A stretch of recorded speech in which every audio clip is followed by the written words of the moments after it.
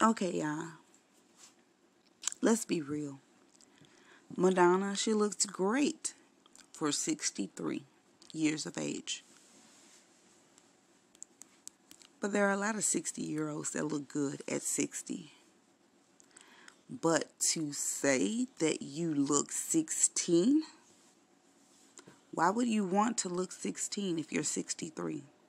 Why wouldn't you embrace your 63 year old beauty?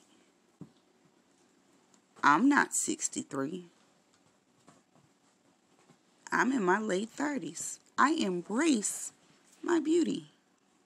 But never would I want to say I look 16 again. I don't even want to be 16 again. I don't want to live life over again. I don't this is not back to the future. It's not back to the past. It's not back to none of that. Like I just feel like there's something wrong with that. She looks great, and I think that she should just embrace being 63 and not try to look back on her years when she was a teenager.